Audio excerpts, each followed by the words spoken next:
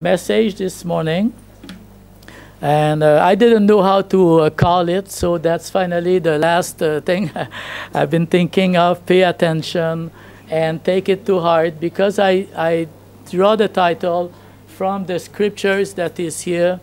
Uh, those who are wise will pay attention so that they may understand the loving kindness of the Lord. So we pay attention, we take it to heart, we observe, we look at what God is doing, and we learn something and we become wiser by, by doing that. So that's why I call it like this. So this morning, if you allow me, I will ask, I will start by asking difficult questions at first, and then we will look at some theological concept a little bit further down. How can we find peace and safety and assurance of our future in the midst of these global crises that surrounds us?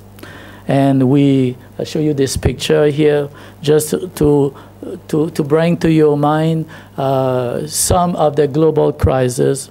We have the tension in the Middle East with Mr. Trump's uh, peace plan that is rejected by the Palestinians the Iranians and all of these things that is happening there. We have a race to military dominations. The nuclear rearming with more modern missiles is taking place. Civil unrest, and I, I don't know how, how many, every time you turn on the headlines, you will see civil unrest somewhere. Military conflicts.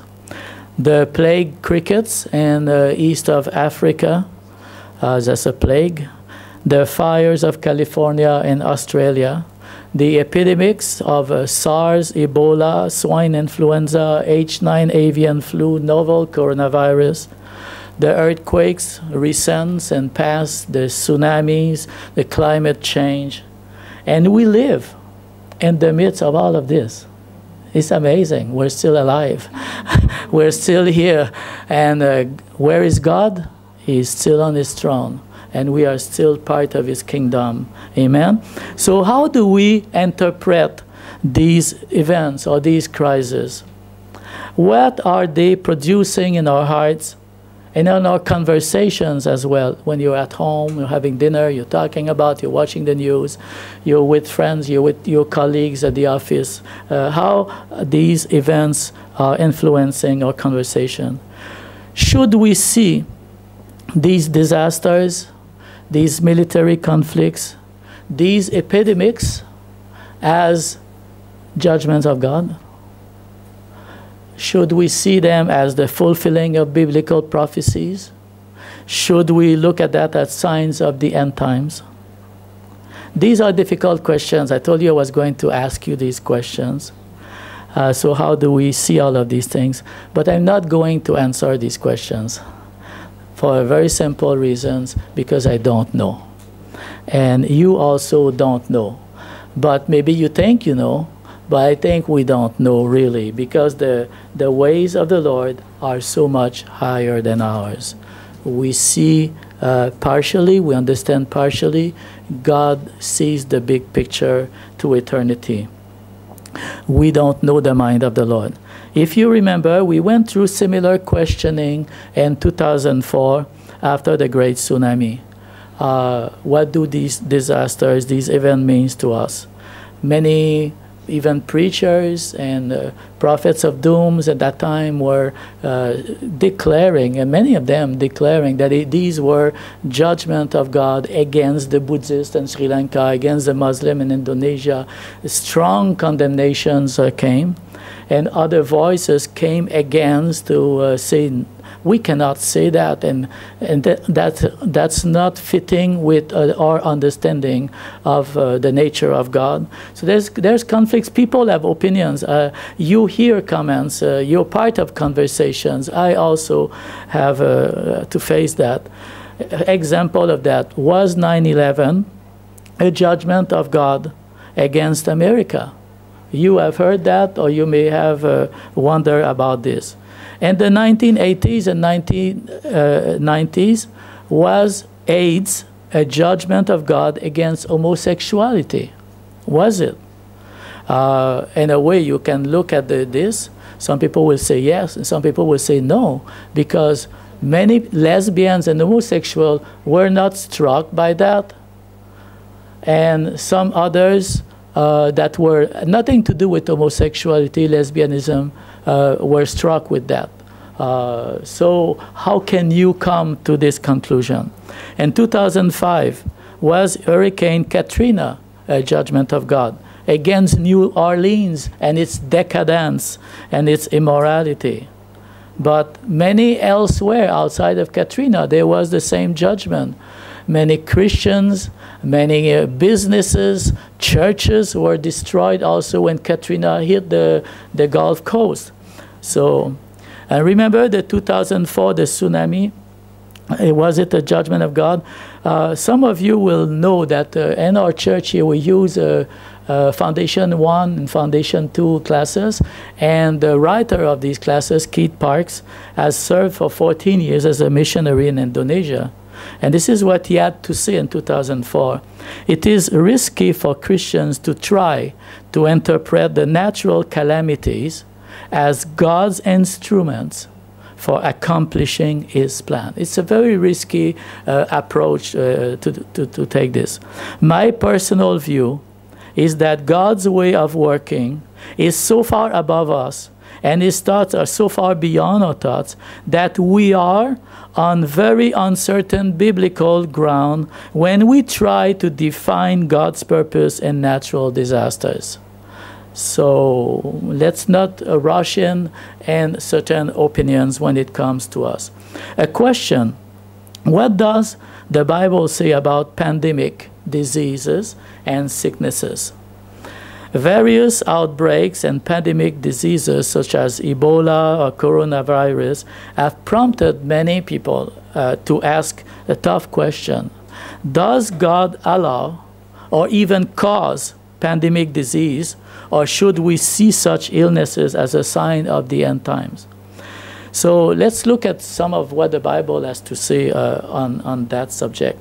The Bible, and particularly the Old Testament, describes numerous occasions when God brought plagues and diseases on his people and on his enemies. And uh, we can see some example of that in Exodus uh, in Egypt uh, to show his power. And we can see it in uh, this verse here. I'm going to send at this time all my plagues so that people will know that there is none like me in all the earth. Uh, if you look at these uh, scriptures in Numbers 14, Numbers 16, and 25, you will see also mention of some of these examples. And there are many others in the Old Testament. I'm just like uh, uh looking at a few of that. God used the plagues of Egypt to force Pharaoh to free the Israelites from bondage, while at the same time he spared his people from being affected at all by these same plagues. In uh, Exodus 12, 13, and 15, 26, God is very specific and saying that I am your healer and you will not be struck by these. You will be protected. When the angel of death will go over, you will not be affected by these things. We can reason that God has sovereign control over diseases and other afflictions. This is something that we can be certain of. God also warned his people of the consequences of disobedience, including plagues in Leviticus chapter 26. On two occasions that you see here mentioned, uh, God destroyed 14,700 people in one of the plagues and 24,000 for various acts of disobedience. After God gave the law to Moses, God commanded the people to obey or to suffer many evils, including something that sounds like the symptoms of what Ebola was. The Lord will strike you with wasting disease, with fever and inflammation, which will which will plague you until you perish. This is in Deuteronomy 28. These are just a few examples of many plagues and disease mentioned in the Old Testament. Uh, it is hard for us Christians to imagine our loving and merciful God causing these sorts of things. In Second Chronicles chapter 7 verse 13 to 14, which is probably prayed a lot during this time uh, at the moment. We, we, we are praying, we see it in videos, we see it in Facebook uh, plagues. When God, this is God speaking, when I shut up the heavens, so there's no rain, a command locust to devour the land, send a plague among my people, if my people uh, who are called by my name will humble themselves, pray, seek my face, and turn from their wicked ways, then will I hear from heaven and will forgive their sin and will heal their land. You see, when you look at this prayer in view of events, then it, it changed a little bit our approach. Here we see God talking about the possibility of using disasters to draw his people it's, it's an act of, actually, if you look at the big picture, it's an act of redemption. It's, it's an act of, of uh, uh, forgiveness. It's an act where God says, I will forgive, I will heal. And, and we will talk a little bit later. Stay with me. I know I may be making it a bit uh, heavy uh, this morning, but it's good that we as Christians uh, establish our faith on, on facts and on the scriptures. God wants to lead people to repentance because there is sin, because there will be uh, more horrible judgment if people do not live according to the standards of holiness. You know, and the law of God. Uh, I, I, was I, I studied a lot this subject lately, and uh, there's the, the what they call the, the mitzvah which are the commandments of God, which are the, the standards of God, the mitzvah. Then you have the, the, I'm not sure I'm pronouncing it properly, the choka, the statutes, it's more like the, when God gives some numbers and uh, some uh, very specific instructions, uh, more like the interpretation of maybe some of the, uh, uh, for example, if you steal something, you have to repay uh, four times more. So these are, becomes like a, a, very practical application. These are the, the choka st statutes, very precise. that is application from the general commandments of God. And then you have the, the mitzvah, the judgment, and we will talk about that in, in a moment. But all of these things are to bring us to uh, re reflect and realize the, the righteousness, the justice, the holiness, the perfections of living according to God's uh, desire. God did not give the law as a way of punishment. He gave it, uh, you know, okay, think, okay, just, just about the coronavirus uh, and the SARS, for example. We know now that it came from maybe some animals, uh, uh, but in the law of Moses, there was a warning don't eat certain things they are impure and certain things are, uh, are pure so there is there is a, a, wisdom there is a, a, ultimate uh, knowledge of God uh, behind the law that's sustained a way of life for the well-being of the whole earth from generation to generation. Like don't commit uh, sexual immorality, don't don't uh, don't get married with uh, your your sister or your brother. You know, these kind of things are part of the law but they are in the law for a reason. Uh, you know, the mix of blood, you know, this kind of thing. So there's a lot of details about the law that is for the well-being of the planet and all of these things. And we know how this planet suffer from the consequence of consequences of sin, and that uh, we will talk in a moment about the fact that we have started to die out of sin and Jesus Christ came to give us back, bring us back to have eternal life. So we have a bigger pictures and bigger uh, subject to think when we look at some of the judgment, the plagues, and all of these things. Is that a judgment or not? And well, what kind of God do we have, and things like this. So we'll be going a little bit further with that.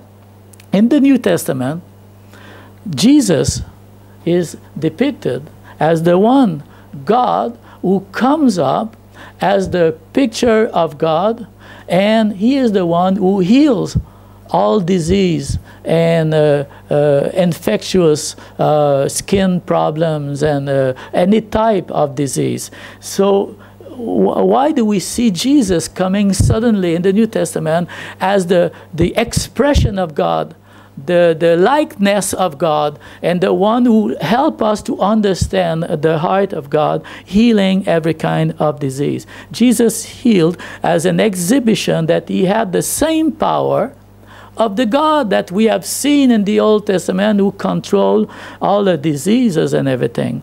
Sometimes uh, one way that we can see even worldwide pandemics are simply the result of living in a fallen world and not always like something that we want to condemn or something a specific area. For example in the tsunami uh, happened in 2004 uh, some people were quick to condemn uh, uh, Sri Lanka and India as being judged by God. But actually those countries at the time who were the most the greatest persecutor of Christians were not uh, the Buddhists in uh, Indonesia. Indonesia are not the greatest persecutor of Christians. Uh, it was India and Burma that was the greatest, and they were not affected by that. And those countries that were affected by the tsunami, many Christians perished many churches were destroyed. So we cannot just come up with, with something uh, sense to listen to all these prophets of doom and just accept everything that they are saying. Sometimes even worldwide pandemics are simply the result of living and, and a fallen world. This is a fallen world with the consequences. Uh, we have we have heard about, uh, and we are very sad. This doctor, the, we call him the whistleblower. He was just a, a, good guy doing his job in Wuhan, and he has been arrested, forced to, you know, and then he, he lost his life, and then we, the whole world is is is, is sad, saddened about that. So what happened there is the sinfulness of man that is the cause because of many of the, the problem that is happening uh, around us. There is no way to determine whether a pandemic has a spe specific spiritual cause, but we do know that God is sovereign over everything. And Jesus has come to reveal the love of God, and He showed it in healing all diseases. You know, think about the, uh, the Psalm 91 uh, that we stay under the wings of the Almighty in the shadow of the of the Lord, and He keeps us from all the sorts of plagues, from the arrows that comes during the day or night, the terrors of the night and the plagues. This is, I'm sure, the most prayed prayer. Actually, it's it comes from every side to us. But the spread of sicknesses such as Ebola and the coronavirus is, we can say, a foretaste of pandemics that would be part of the end of time. Jesus referred to future plagues associated with the last days. You see it in this text here. There will be great earthquakes and famines and plagues in various places. The two witnesses and Revelation 11 will have power to strike the earth with every kind of plague as often as they want. And seven angels will wield seven plagues in a series of final severe judgment described in Revelation 16. So the appearance of pandemic diseases may or may not be tied with God's specific judgment for sin right now, may or may not be. We don't know that. Uh, but we can see that it will be uh, something that announce something that will be much more severe in the time at the at, when the end time comes at the time since no one knows the time of jesus return we must be careful about saying that global pandemics are proof that we are living in the end times do we believe we are but uh, when you judge one specific pandemic. For Christian and for non-Christians, those who do not know Jesus Christ, these disease and any disease should be a wake-up call and a reminder that life on earth is fragile, that we are weak, that we are mortal, and that we have a, a, an appointment with death that is ahead of us as bad as pandemics are, it's really bad, hell for eternity will be worse. Will be worse. So, as Christians, we have the assurance of salvation and we have the hope of eternity because of the blood of Jesus Christ shed on the cross. There's a great confusion that exists about the subject of God's judgment, the end times, the final judgment. So let, let me just talk a little bit about this. Uh, how many times is the word judgment mentioned in the Bible? Um, in the King James, uh, the word judgment comes almost 300 times. Uh, and the word judgments, plural, appears 130 times about. And the word judgment, that is mishpat in the Old Testament, the concept of this word is many of us, we think when you hear the word judgment, you think of punishment. But the word mishpat is not punishment. It could be, but not necessarily. It's much better than that. The word uh, mishpat is the process by which a verdict is reached. The judge, you evaluate the facts, you look at what's really happening, the cause of something, your reason, then you come to a verdict. And we can see that God is the God of Mishpat. He is the one who can discriminate between truth and lies, between good and evil. God can do that. So it is kind of the, the process by which a verdict is reached or the, the verdict itself that you're guilty uh, you have sinned and a, consequence will come and then sometimes a punishment will come as a result. We understand that. You, look at the our modern uh, criminal court you will see the same thing there is an investigation, we discriminate about the facts, we come to a conclusion, there is a verdict, guilty or not guilty, and guilty brings a certain type of punishment or a, a behavior change that is being forced to restore, protect society, keep order, and uh, be just and fair for everybody else that has, would be affected negatively. If there would not, not be such a, a standard of, of judgment. So, so don't think of judgment just as punishment. It's more about sorting right and wrong. So that's why we can see that uh, God is so, so, so great. Okay, uh, yes. Um, God is in fact the God of mishpat, the God of judgment. Judgment is God's activity. He's been doing that from the beginning of time, and we will look at some scriptures of that before. Nobody taught God about being just and fair, the concept of judgment. Has the Lord ever needed anyone's advice? Does he need instructions about what is good? Did someone teach him what is right and show him the path of justice? Deuteronomy 32 He is the rock, his deeds are perfect, everything he does is just and fair. He is a faithful God who does no wrong how just and upright is he? So if you can look at different Bible versions, they use different uh, uh, way to, to, to phrase up this sentence. For all his ways are just, a God of faithfulness without evil. There's no evil in God. There's no evil in God. And when we think about uh, associating plagues, God, Old Testament, and New Testament, we must rest our faith on the foundations of God is fair and just. There is no evil. God is good. God is perfect. We must establish that. Uh, it is essential for the faith and the survival of, of our faith and the transmission of our faith to our children and to the next generation. For all his ways are just. He is a reliable God who is never unjust. He is fair and upright. Righteousness and justice are the foundation of his throne. He is the Lord our God. His judge, judgments are in all the earth. He discriminate. He knows he, he, what's happening. He, his verdict of, of how human beings behave is, is perfect. Uh, there's another scripture that someone uh, sent yesterday. I saw it on Facebook and I brought it today. When we want to think about uh, the heart of God in terms of uh, judgments and things like that, look at this wonderful text here from Joel chapter 2. That is why the Lord says, is God expressing anger or evil at all in this text here?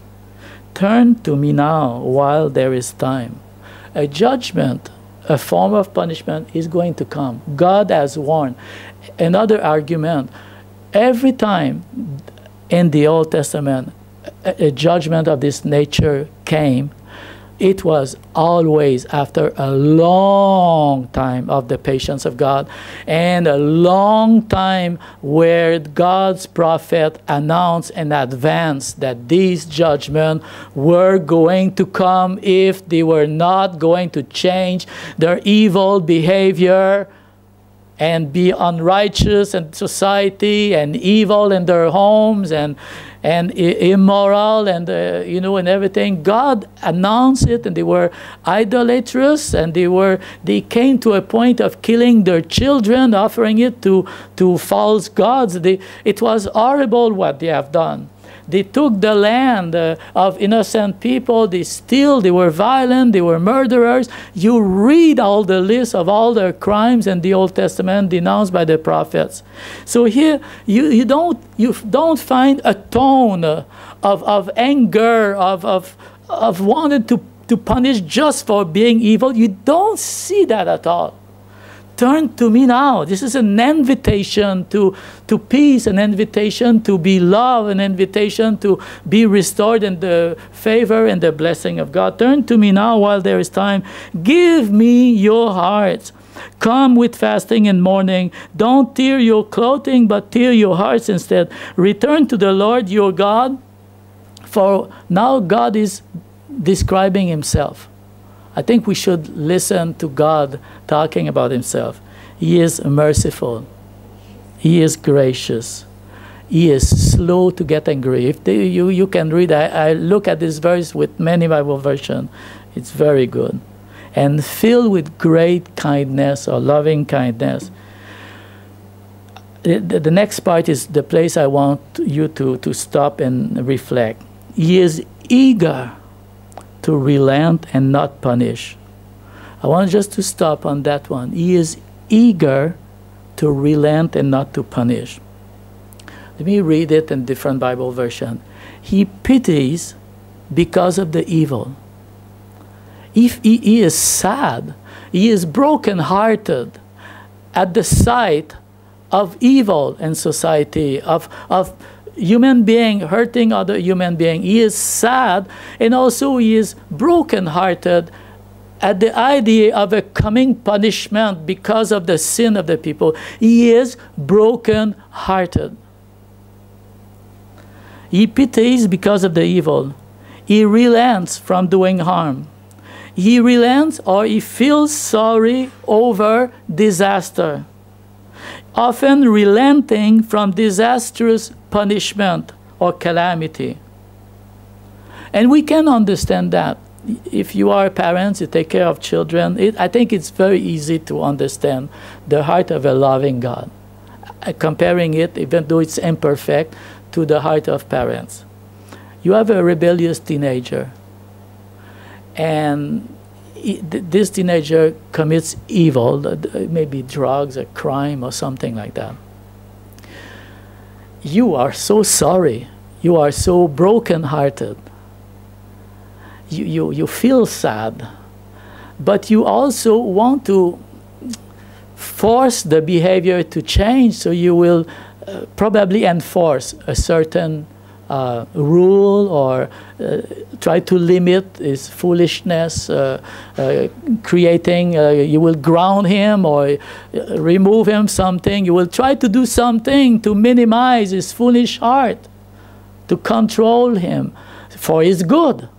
But at the same time, that sort of punishment breaks your heart. We, I think we understand that easily, do we? Okay. So we, we see it from, from God here, described from God.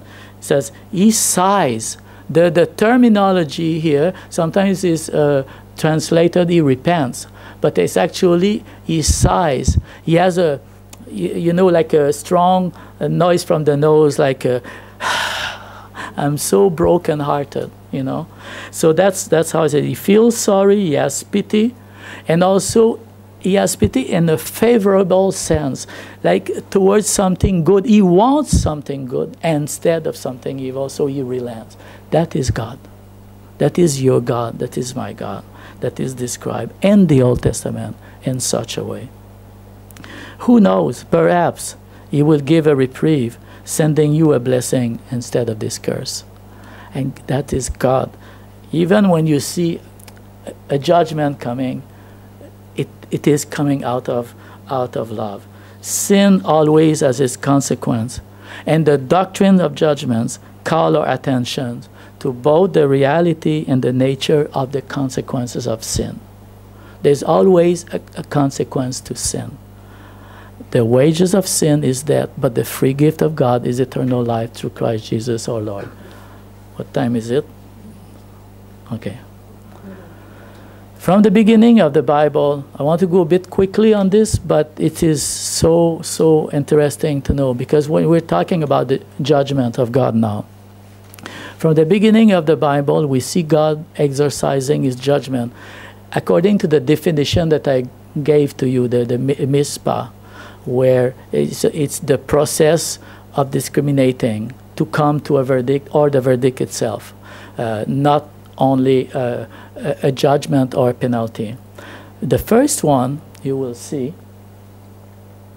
You have a list here. Let's let's look at, at this list here. The judgment of Satan and the fallen angel is the first one. Of the this is a judgment. This is an action that God did from the beginning of time.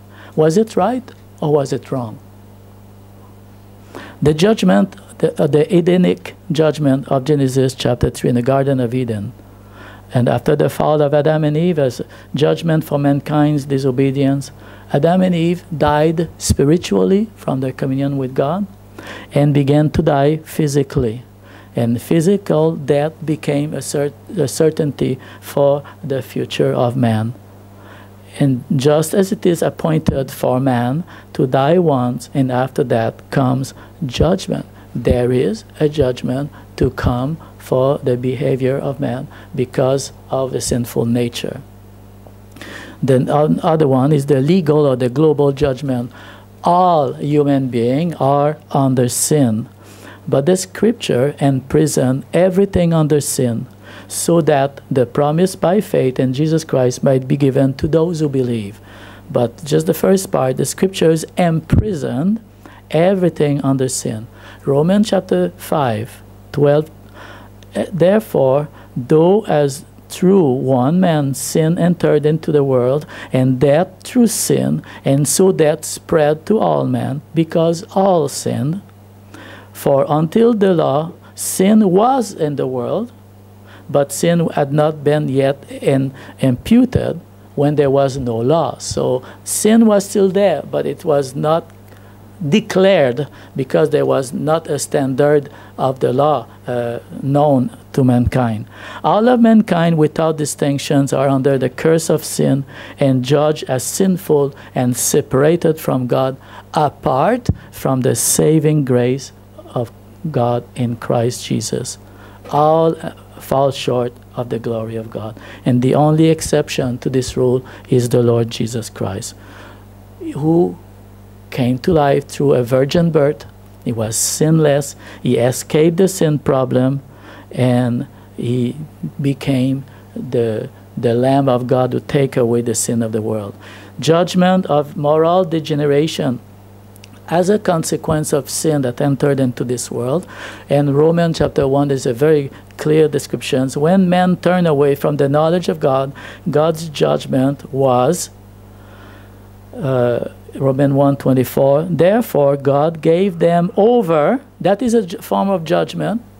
He gave them over to the desire of their hearts to impurity verse 26, to degrading passions. Verse 21, their imaginations and their foolish heart was darkened. That is a, a judgment that God gives. You want this, you, you don't want to repent, I give you over to your degrading uh, passions. As they refused to follow the light, their foolish intellectual and reasoning got darker and they could not discriminate anymore. They lost this ability to discriminate between truth and error. Then you have the judgment of Christ. Uh, for the sin of the world, which is the, the greatest judgment that God has ever uh, shown or exhibit uh, to show his love to all of us. Christ's judgment for sin. He died in place of the sinner that we, we are, bearing our sin and our judgment on the cross, and became uh, our substitute. And we find it in Isaiah chapter 53. So God's judgment can be difficult to understand. It's, it's a big subject, and we only scratch a small surface. And you may disagree with me and say, "Oh, you did not cover this aspect or that aspect." I, I'm fine with that. You you can think uh, as as you wish. So uh, just uh, some scriptures that I've been referring to over here, and then in closing. God's judgment can be difficult to understand. And that's okay because we're not qualified to judge God's judgment.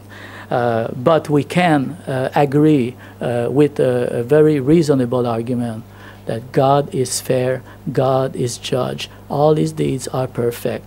And then if we can establish it, this as, as a foundation of our faith. God's judgment is always inseparable from His love. Whether you look in the Old Testament or in the New Testament, God's love and judgment go together because He is both simultaneously. He is just and He is love. We know that, and we, we struggle to grasp this because of the limit of our understanding. But we see God's love and God's justice wrapped up together at the cross of Jesus Christ. And that is the, the, the place where we understand how God is love and how God is judge at the same time. God's just judgment instruct us about our own character also. Because if you think about the, the revelation of God's verdict and God's standard, it reveals our own character. And I have a, a, scripture here that I will refer to. It's from Isaiah chapter 47, and I think it's God speaking to the ba Babylonians. He says, You felt secure in your wickedness. You said, No one sees me. Have you ever thought like that? No one sees me, so it's, it's okay if I sin. I can, not okay if I sin, but no one will know. Okay? Your wisdom and your knowledge led you astray. And you said in your heart, I am, and there is no one besides me.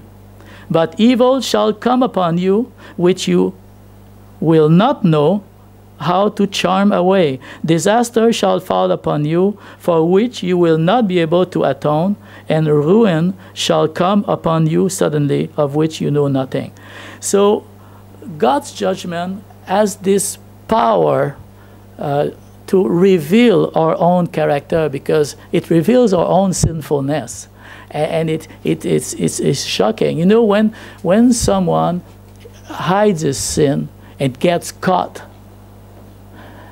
it's, it's not funny, it's, it's not uh, pleasant, but it is most of the time used to create a crisis to lead to repentance which becomes the positive aspect of that. You, you come to face your sin because you got caught.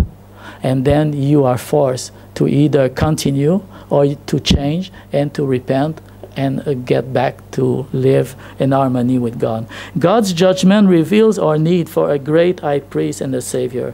The Old Testament stories of judgment point to our need they, they tell us that we need, because in the Old Testament you have the priesthood, you have the commandment, you, you have the law, and you have a need, and all of the symbolism of the priesthood and the tabernacle over there, you have to, to point to the need that God should provide a substitute for sinners. Like in the Old Testament, it was an animal a lamb, a bull to come for the, for the forgiveness of sin, but uh, eventually leading to the Lamb of God, Jesus Christ, who offered a sacrifice to allow us to understand and to move us into that direction. And the last point, God's judgment foreshadows, and we, meant, we touched on that point, what will come on the last days. Uh, Matthew 24, 30, then will appear in heaven the sign of the Son of Man. And then all the tribes of the earth will mourn, and they will see the Son of Man coming on the clouds of heaven with power and great glory. Jesus will come again to judge mankind. This is clear in the scriptures. And the, the whole idea of what I said today, I want to conclude with that. Scriptures instruct all of us who become aware of these truths that we must be ready for that day. That's the only conclusion possible. That the most important thing that we that we are sober-minded, that we are watchful, we look at what is happening around us, all of these global, and it points into that directions, and it points to a, a coming judgment. And we need to. It is also a motivation for us to place our faith and our hope in Jesus Christ. He bore our sin. He bore God's judgment so that you and I will never have to be under the judgment of God. That's why Paul says there is no condemnation for those who are in Christ Jesus.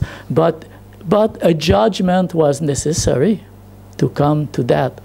For you not to be under the judgment, a judgment was necessary, and it is the love of Jesus Christ that was necessary. I, I close with a, with a small story. It's uh, during the time of heavy persecution in uh, Eastern Europe. Uh, don't know the story, don't see the, the, the, country, maybe in Albania or something, because it was horrible that time. It was a memorable Easter time, and it is a, a man who was in the congregation who, who tell the story of the pastor on that Easter morning service. It was the morning after a violent attack against our pastor. That Sunday during worship, the pastor Yusuf stood to preach shortly after a strange man entered the sanctuary.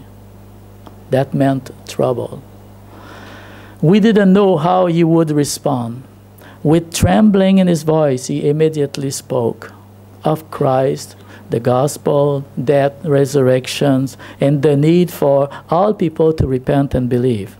His tone was strong, his eyes were fixed uh, on the congregation, and I sense his look focused past me and aimed directly at our visitors.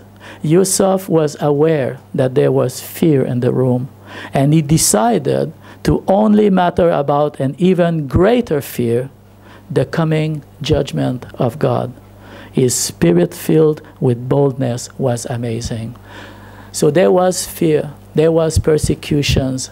So instead of focusing on that fear, he focused on a greater fear the fear of the coming judgment of God. This is much more important. And he was filled with the Holy Spirit with boldness. So for us this morning as we close, we can trust in God in time like this because we have seen the cross because you know about the cross of Jesus Christ and the judgment of Jesus Christ so that we will not be judged. We have also a glimpse of what is to come and we have the assurance of safety in God's presence.